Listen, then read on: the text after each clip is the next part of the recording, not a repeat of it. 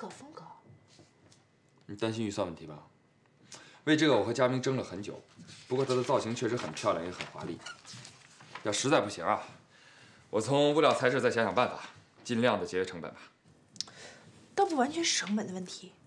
魔力逊白是高档产品，但是洛可可风格给人的距离感太强了，不如现代风格有亲和力。有道理。只是不知道该跟陈导那边怎么解释。他这次做的真的很努力，都修改了十六稿了。别发愁了，我尽量说服他。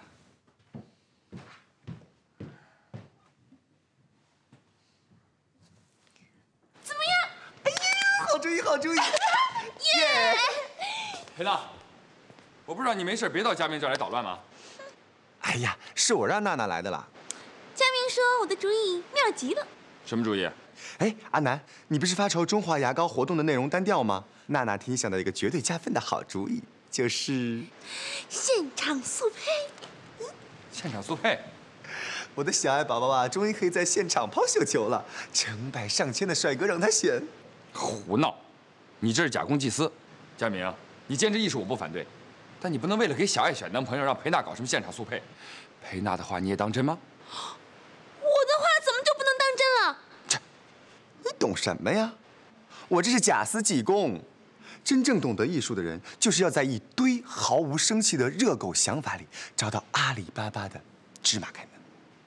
你不感谢娜娜也就算了，还侮辱我们的职业素养。就是，就算我没配过，我也见过配过，这个我有发言权。好，我跟客户联系一下。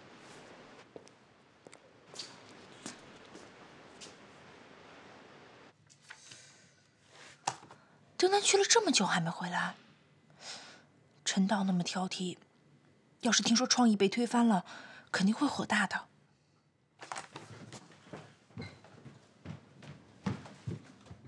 再见。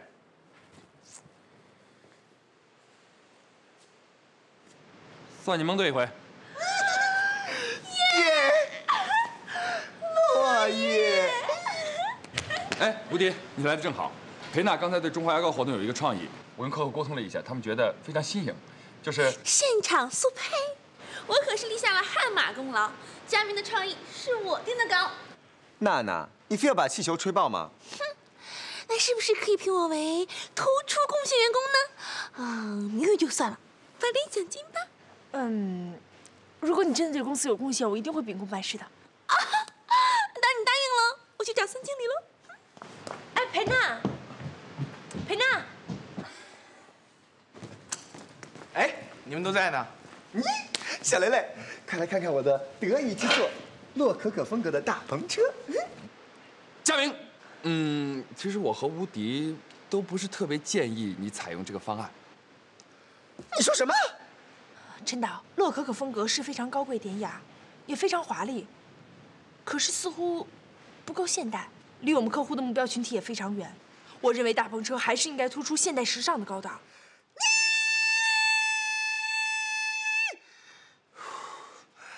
钱小龅牙，你的牙套叫做洛可可啊！以前的你多有艺术品味啊！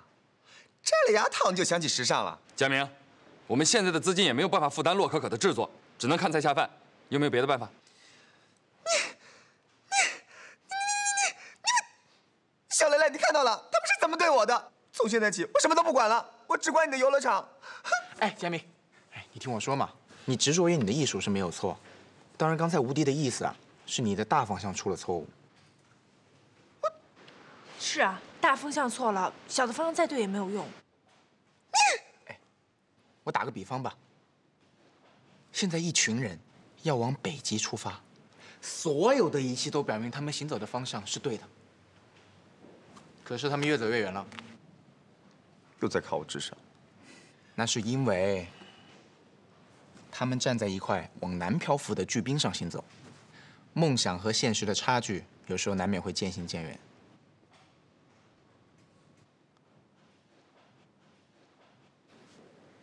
本来我还想坚持我自己的想法，但是最后是小雷雷打动了我，他的那句话让我好伤感。梦想和现实的差距难免会渐行渐远。同时概念沦落人，那我就再忍气吞声一回吧。至于你，佳明，我坚信作为艺术家的你，越是有束缚，你就越能迸发出别样的灵感来。丹丹，丹丹，我还以为你会跟他吵起来呢，没想到。怎么会呢？以后这些事情我自己处理就行，你回去忙吧，我不会再让你分心了。嗯分心？哼，那是说的好听的。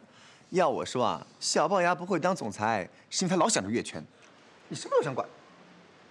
我只是想帮德南。当总裁的，管好你自己吧。你要是那么有本事，还要我们干嘛？哎，这一次我就站在佳明这边了。管理就是要分工明确，各尽其职嘛。要是事无巨细，一天二百四十个小时也不够你用的。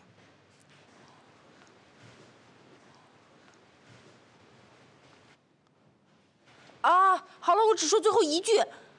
多芬的广告明天必须要交片，否则这个月的广告款就到不了账了。加油！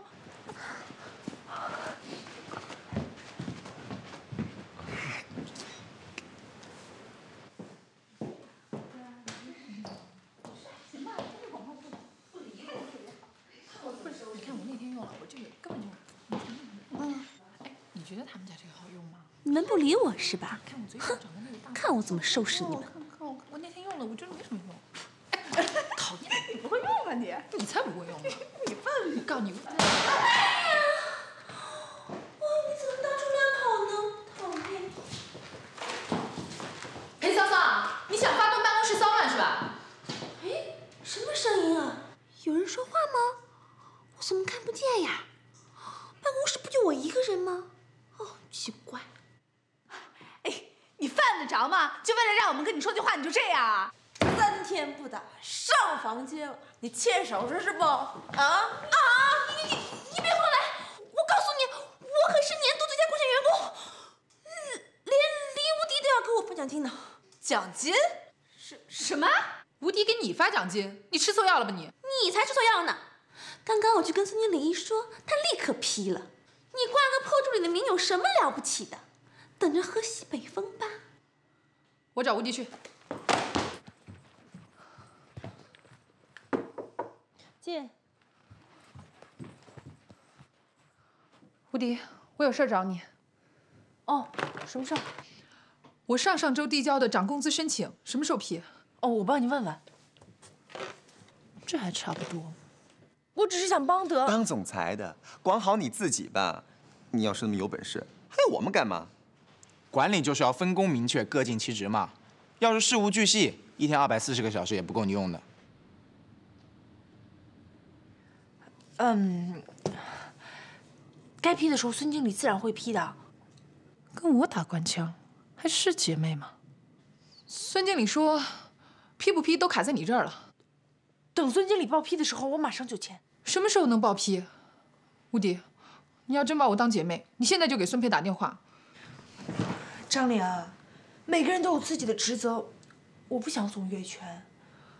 孙培是典型的概念娘家派，上面要是不说的话，他一拖就是一两个月。我知道，可是你也要替孙经理想一想，现在概念的财务状况很不容乐观，你就不能再等一下？对，公司不乐观，那你为什么答应给裴娜发奖金？你以前有什么事儿都是大家好商量，你现在什么时候跟我们商量过？裴娜的事情是事出有因，张玲，过去我们都一样，我们都是秘书，我们当然要一起讨论，这是我们工作分配。但是我现在的工作是决策方向、银行借贷还有项目跟进，你让我怎么跟你商量？对啊，我差点忘了，人往高处走嘛，现在用不着我们这些小人物了。张玲，我只是就事论事，你也替我想一想。你跟小五要搞食堂，卖给概念的饭菜同样的价钱是两菜一汤，可是，一到送外卖就变成三菜一汤，还包加了水果。小五有事的时候，你用概念的车送外卖，就连菜单的打印纸都是概念的彩印，这些事情哪一样我说过你啊？对，这事儿是我干的，我是张玲，不变着法挣钱就不是我了，我还是你姐妹。概念姓费姓顾又不姓林，再说了，我挣钱我有少交你利润吗？我是你姐妹，但是概念不是你的姐妹。我林无敌的便宜你随便占，但是公司的就是不行。原来。原来那些芝麻大的事儿，你一直都记在心里。张玲啊，你也好，裴娜也好，国有国法，家有家规，公司有公司的规矩，在公司一切奖励惩罚都要看在公司的表现。你就继续任人为敌吧。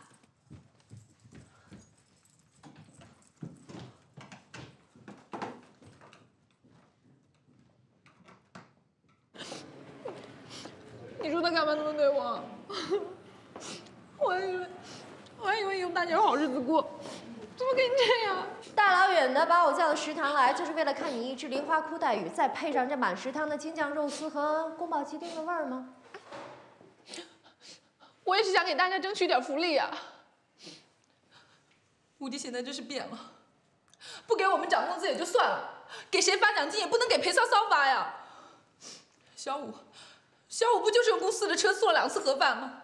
小五，回头把油钱给林总送去。是不是有啥误会啊？我的位置是保不住了。吴迪现在是变了，牙套摘了，穿衣服也有品味了，而且还有费总和小哈雷两大帅哥围着他转，他是和我们以前认识的吴迪不太一样了。跟我们不是一个层次了。可是我还是会常常怀念以前那个，嗯，充满亲和力的傻丫头。当然怀念了，傻丫头好欺负吗？素来，你说句公道话，要是没有我们大家，能有无敌的今天吗？没有你们，林无敌照样还是林无敌。可是没有林无敌，你张玲未必是现在的张玲。你们说了这么多风凉话，是心里不平衡呢，还是嫉妒作祟啊？你这是站着说话不腰疼，你跟我们不是一个阶级的。我就是坐着说话也不腰疼。就你那一毛五的蝇头小利，早晚吃大亏。张玲，我想跟你谈谈。林总，不涨工资就算了，别剥削我们这些老百姓吃饭的时间。无敌，走，咱们去小镇自己吃去。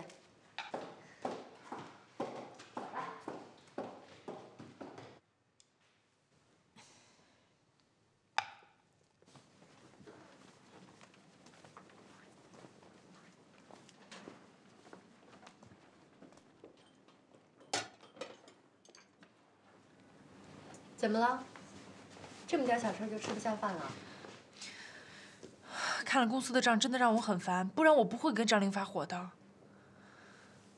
唉，今天中午本身想跟她好好聊聊，没什么好聊的，她连自己的位置都摆不正，让自己好好反省去。吴迪，你得从现在学着去做一个恶人，善良是不能当饭吃的。可是我并不想做恶人，大家都是这么久的好姐妹了，我真的不想因为误会而伤了感情。这帮女人都被我惯坏了，什么都想当然，我是有责任的。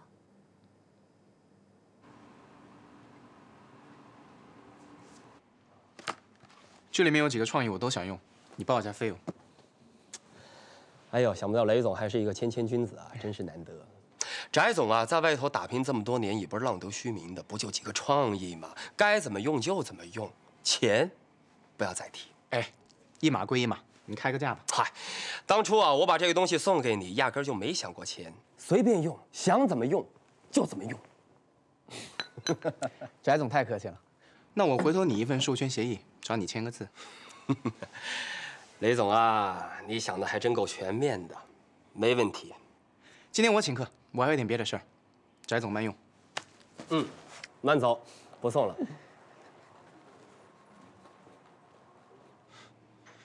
打个巴掌给个甜枣吃，真不错。我要是直接给甜枣吃呢？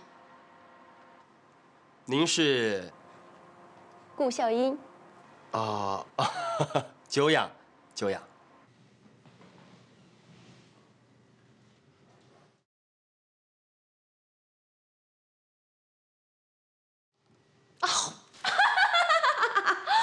玩这个游戏，从小到大还没有输过呢。还我香水！你哪只眼睛看见我拿的？小心我告你诽谤。我这么说可是有凭有据的。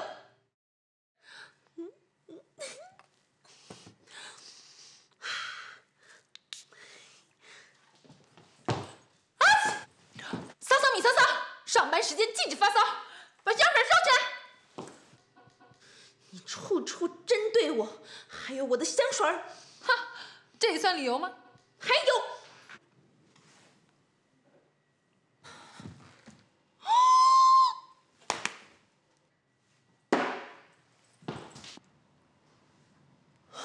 哈，我是在拿你的香水举例教育马莎莎，告诉她，要是有这几百块钱，还不如每个月定投买股票和基金，将来等她老了，还可以拿这些钱看病吃药。我不信，你爱信不信，有本事拿出证据来。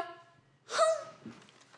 喂，老同学，你怎么想起找我啦？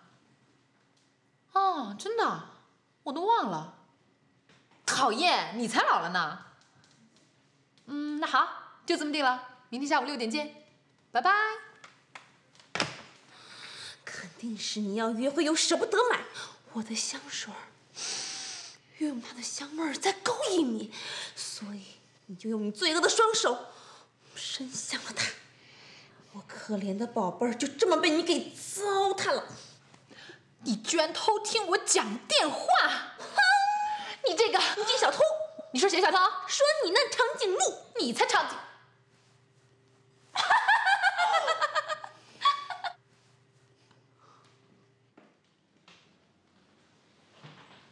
长颈鹿接电话，我不接，我命令你接。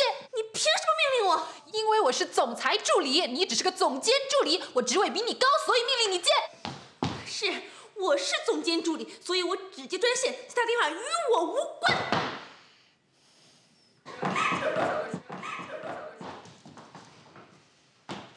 马莎莎，你要敢接这个电话，我立马跟你翻脸！我今天就是要他接，我就不接。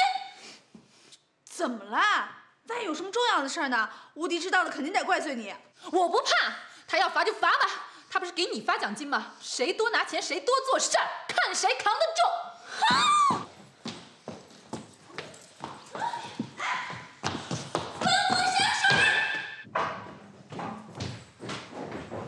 张玲，啥事这大火啊？是啊，我们都是好姐妹，你有什么事不能跟我们说啊？既然闹到这个份上了，我不怕告诉你们，香水没了，我砸了。报表，不用了。费总。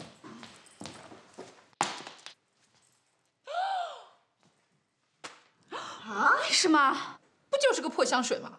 有什么好显摆的？还总是弄得满办公室的味道。别说这次我是不小心，下次我见一次摔一次。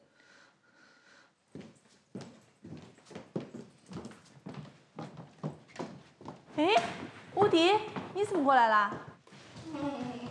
你惨了，看我今天怎么收拾你！青姐，偷来奖金。肯定是裴骚骚搞的状。随便，我没拿他香水。刚才为什么不接电话？啊，那个刚才张为什么玲她非得是我接呀？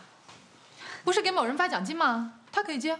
张玲，刚才的电话是客户打来的，你是我的助理，裴娜她不是。我，我刚才没在办公室。他在办公室，我作证。他自己不接总裁的专线电话，那也就算了，他还不让其他人接，总裁助理了不起吗？耽误了工作，你们都有责任。张玲不接电话，你们也应该帮忙接。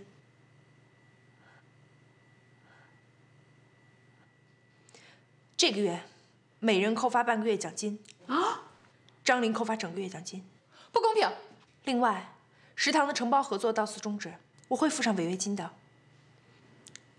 我看你还是做好本职工作吧。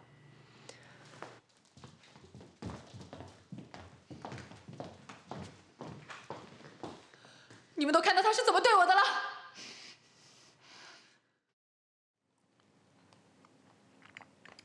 这个月的报表呢？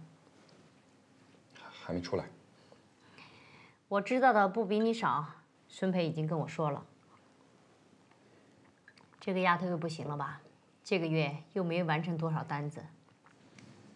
正在进行中，您别急。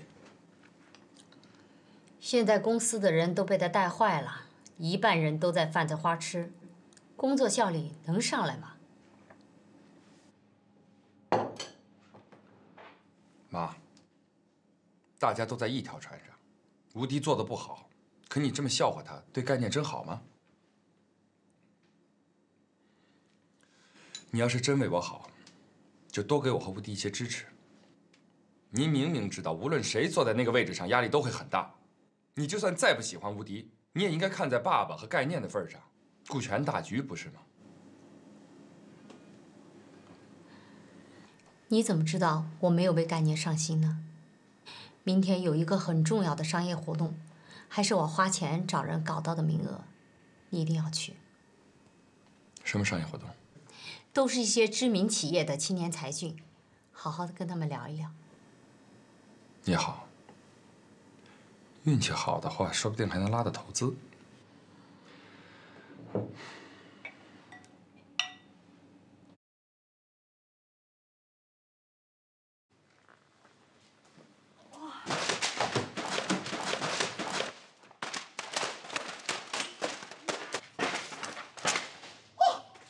小爱宝宝，你干嘛？我刚刚冥想到最佳境界。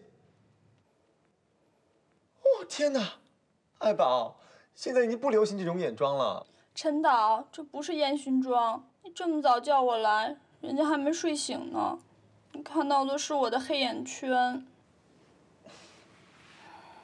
谁叫现在这个摄影棚已经不专属于我一个人了？只有清晨这片刻的安宁，才让我有心情去思考。你这么一搅和啊，把我刚刚酝酿好的创作情绪全给吓跑了，跑得连尾灯都看不见了。对不起，陈导。好了好了，爱宝，没有责怪你的意思哦。来来来来，用你的气场来激活我的灵感之源。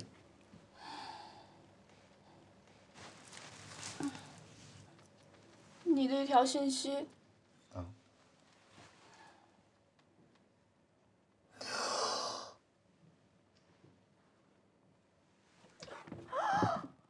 真的，真的。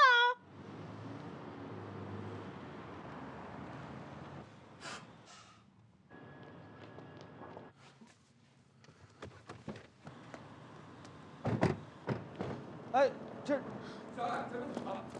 陈导今天突然栽了。栽了！啊，昏迷不省人事。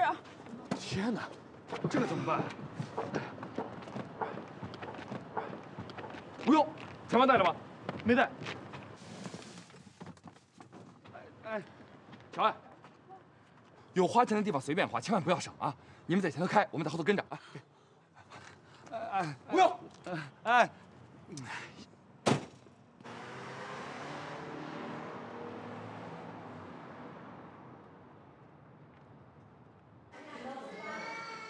医生说是因为神经紧张引起的暂时性休克，多休息就没问题了。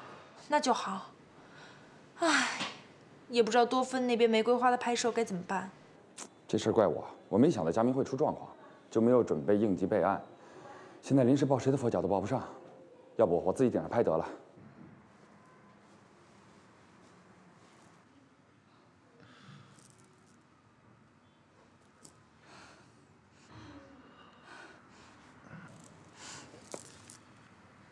小爱宝宝，我这是在哪儿啊？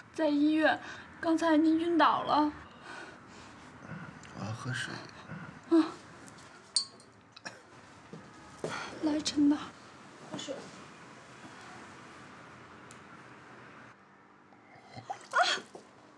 我什么时候喝过这种不明所源的东西呀、好，好，好，我就去买，您等着。哎，等等，你别忘了十点去悦来酒店的事儿。悦来酒店。对，有一个商业活动。呃，周董让我跟你一起去，说是这个事儿呃很重要。可是多芬的活动也很重要啊，那要不你替我去？哎，这样吧，德南，我觉得还是应该找小艾来顶替佳明的位置。首先，他比你更了解佳明的拍摄方法；其次，他也有现场经验。可是小艾在陪佳明啊。这个你放心，我去看陈导，顺便把小艾换回来。如果这边这样有什么进展不顺利的话，那我再打给你喽。好，那我们分头行动，佳明就拜托你了。放心吧。再见。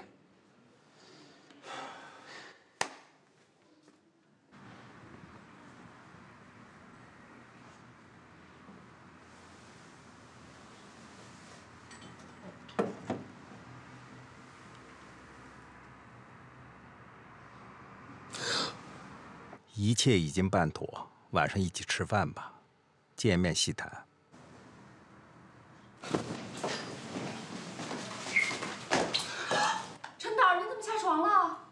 我我下床是因为要出门。你出门要去哪里？医生说钱需要休息。我要去逃亡。必须有主治医生的签字，你才可以离开医院。你见过逃亡还需要人家签字同意的吗？啊！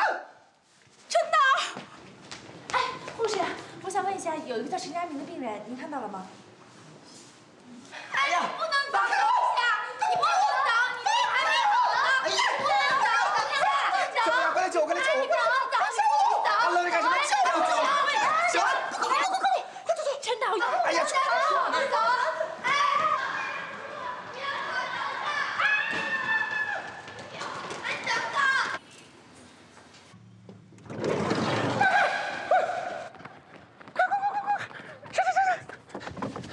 快快上，快快上，快！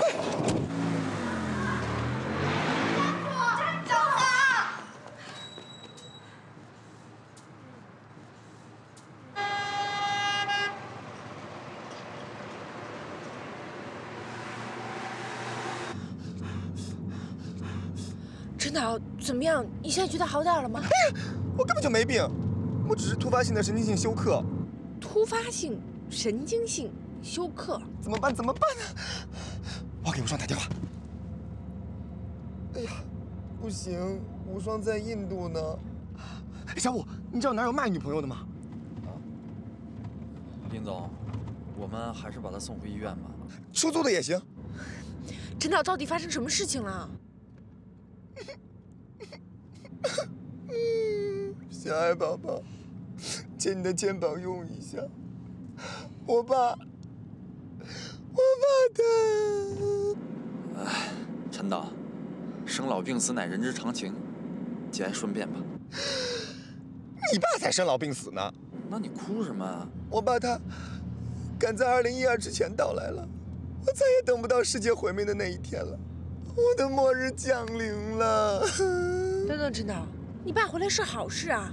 这样吧，等多芬的广告一拍完，我就给你放几天假，让您跟他老人家好好聚聚。别呀，小板牙，你救救我，你救救我，你别放我家。我爸是个军人，他能训练猫排队上厕所，还能训练苍蝇静默隐蔽二十四小时，而我，就是传说中的重灾区。不爱红装爱武装，玩这个，拿着。我再看你玩这花花绿的破东西，刑法处置。我这纤弱的身材，也是因为我爸的军事化管理而造成的。坐下吃饭。三分钟的吃饭时间。三分钟哪够吃饭的？要随时提高警惕，培养忧患意识。打仗的时候哪有时间吃饭呢？我们家起床都不用闹钟，每周我要拉练三次。拉练集合。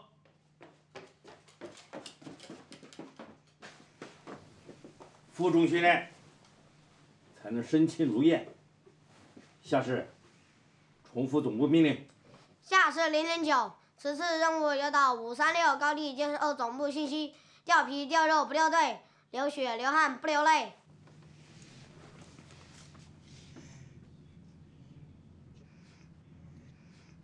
爸，外面黑，我怕。胆子这么小，哪像我的儿子？出发。最过分的是，我十八岁那年，他根本不征求我的意见就让我去当兵。人家说我最多当个文艺兵，他非逼着我去干特种兵。当军人是你自己的理想，为什么强求在我身上？是啊，孩子不愿意做的事儿，你就尊重他的选择嘛。要想做个顶天立地的男子汉，就得下部队锻炼。我们是军人世家，你爷爷是空降兵，我是侦察兵，你得升级，特种兵。你要是再逼我，我就离家出走。敢！然后我就出家了。啊，不对，是离家出走了。这一走，就是漫漫十年。那个充满压迫和剥削的往事，不堪回首。月明中，唉，血泪史啊！把爱心的复仇。陈导，你现在这么优秀，又这么成功，你爸爸一定会替你感到骄傲的。是啊，你们好好聊聊，就没有化解不了的父子仇。他不是来跟我化解父子仇的，他是来 他不是来接你回去的吧？陈导，我太同情你了。你说你想跑路去哪儿？我给你当传送门。跑得了陈家明，跑不了父子仇。我妈说我走后，我爸这些年也挺后悔的。他也许是来找你和解的。不是，他后悔没早点找个军人老婆看着我。要是有军事化监督机制，我肯定跑不了啊。所以他这次来是给我送老婆来的。听说还是军人家庭的女人。啊，我的命怎么那么苦啊？太狠了。嗯，我爸虽然也是当兵的，但都没像你爸那样。您老爹也是当兵的。嗯。啊，那你就是军人家庭的女儿了。从某种意义上可以这么说。哎呀，哎呀，小白牙，你嫁给我吧。陈导，你干嘛？你别胡来！哎呀，想得美！我爸就喜欢你这种军人家庭出身的女儿。嗯，名校毕业，身体健康，除工作努力外无其他不良嗜好。哎，最棒的是你长得不够文艺，这点最重要。所以现在你要做的就是假装我女朋友几天，把我老爸内定的媳妇儿赶回去了，他无话可说，哼，我也解放了。这种撒谎的事情我不想做，而且这样也未必能成功啊。如果你真的不愿意的话，我也没办法。陈导，你去哪儿？那我只能老老实实回家结婚去了。就让我的艺术细胞彻底死在无情铁血的赫赫军威之下。多芬的玫瑰花，谁爱拍谁拍去；中华的大篷车，谁爱开谁开去；概念的首席导演，谁爱当谁当去。小爱，你哪也不准去，你回去跟我当伴娘去。林总，你就答应他吧。狮子座流星雨，在阴天看不见。陈导。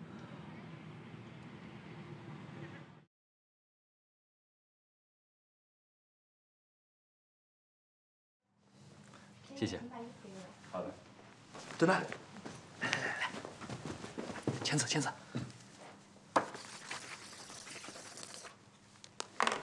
走。小爱宝宝，小爱宝宝，你先帮我准备着啊！记得一定要让瑶瑶找到那种含苞待放的感觉哦。对了，如果有人找我和小，是钱小龅牙。你就说我们去火奴鲁鲁火山湖旅游去了哦。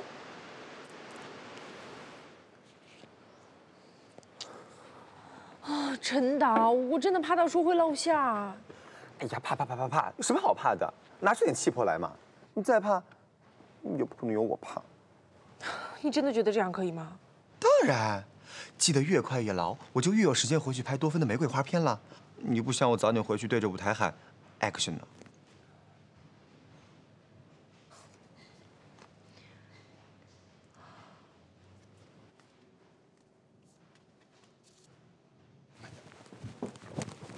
哇！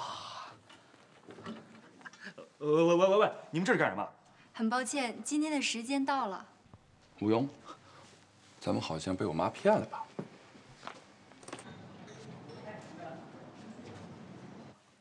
呃，你好，小姐，我们是概念的。很抱歉，今天只准谈情，禁谈生意。谈什么情啊？今天的主题是燃烧的饕餮。燃烧的饕餮？这本命就是富婆的饕餮嘛。饕餮就饕餮吧，周董为了你们费家找媳妇儿，简直是披肝沥胆呐！喂喂喂喂，全是各界的名流啊！喂，哎，你看你看你看，光条项链就七百多万。反正现在咱也出不去了，我正好也有档期，你陪我一块谈谈情，你谈友情，我谈爱情。你没发现吗？你最近除了吴迪之外，你你你身边已经没有什么其他女性的朋友了。哎呀，情感深还严重失衡。反正我妈也费这么大心思，做做样子吧。概念确实压得我透不过气来了。得了吧，是林无敌把你压得透不过气来了。咱俩正好借这个机会，好好的聊聊商。哎，看看有没有合适的目标，看看。啊，船王的女儿，每年给希望工程就赚一个亿啊！我天哪！我爱徐女士，徐女士，徐女士，索罗斯的中国合作伙伴。分头行动，我去找船王女儿。嗯，那年轻，我来。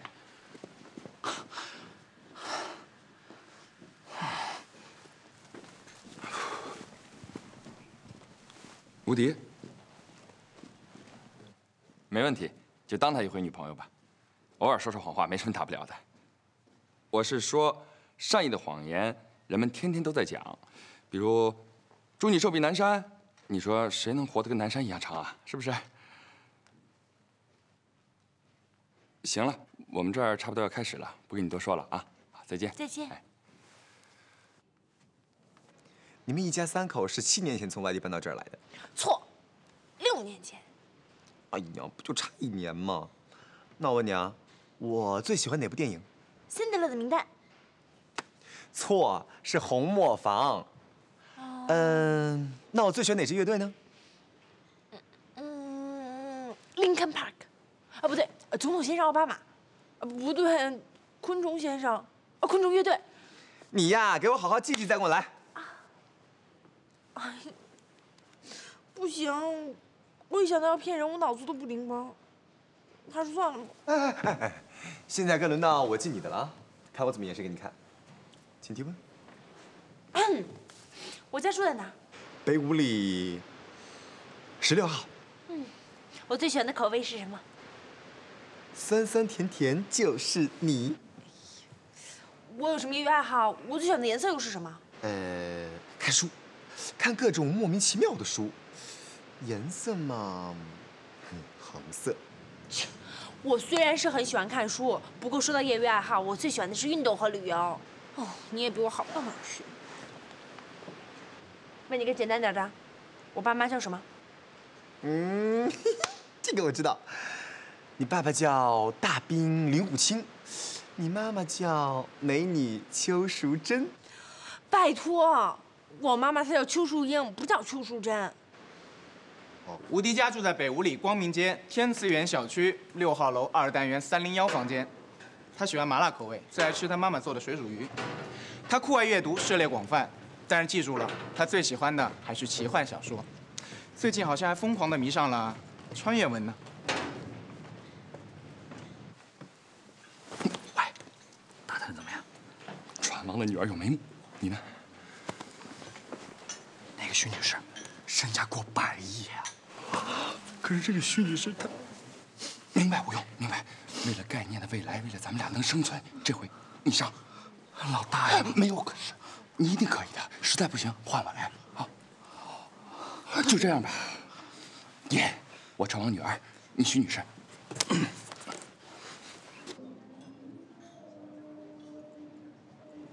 哎，不好意思啊，没找啊，来，干杯！这是什么东西？好吧。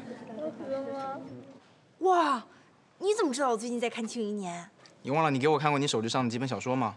《朱雀记》，我最喜欢那个。》？其实这些都是平时我上班路上看的，这样不耽误工作嘛。佳明，记住了，吴迪最喜欢的运动是爬山、游泳，还有打羽毛球。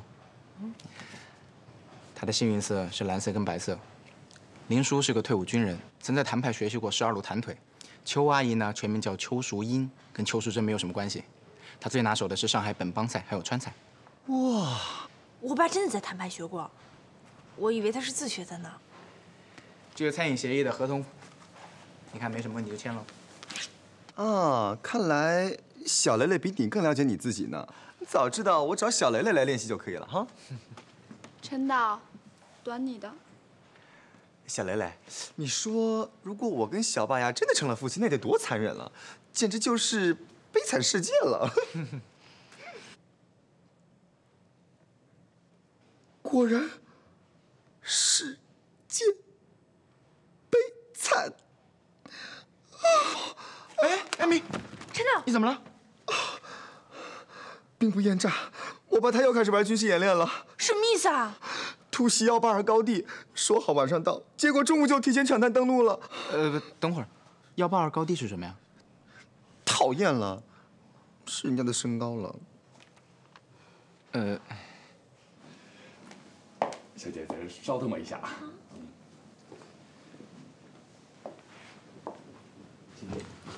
呃，嗨，你真的想和我谈谈吗？不胜荣幸，真的，请进。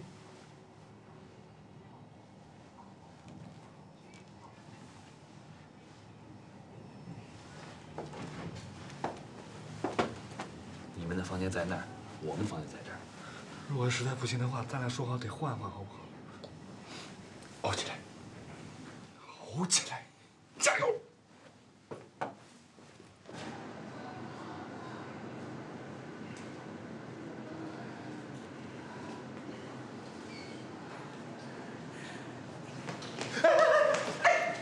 你说好帮我的，你不能现在打退堂鼓啊！大姐，立正。嗯，对，就这样。陈导，你爸到底在哪儿啊？你还不开口？叫我佳明，撒娇的时候叫我小明明啊。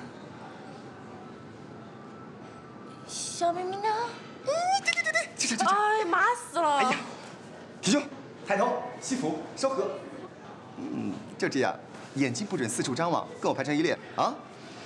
立正，起步，